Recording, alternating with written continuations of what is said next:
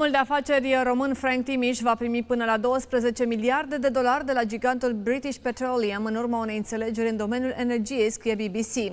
Agenția britanică scrie că British Petroleum ar fi cumpărat participația lui Frank Timiș dintr-un zăcământ de gaz din Senegal pentru 250 de miliarde de dolari în 2017, iar compania va plăti omului de afaceri român între 9 și 12 miliarde de dolari redevențe, mai scriu jurnaliștii britanici.